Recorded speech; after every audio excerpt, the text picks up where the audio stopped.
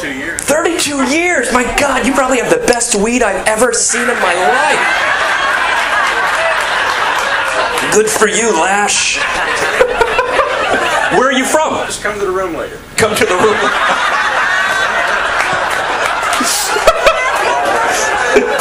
well, the buffet was just eaten by two guys. They get a fire alert in your cabin. Like, we saw smoke. Oh, we saw smoke too, man. You were the narc, man. That's so, so you like you really went undercover and did drug. But where are you from? Miami. Miami. Wow, no drugs in Miami.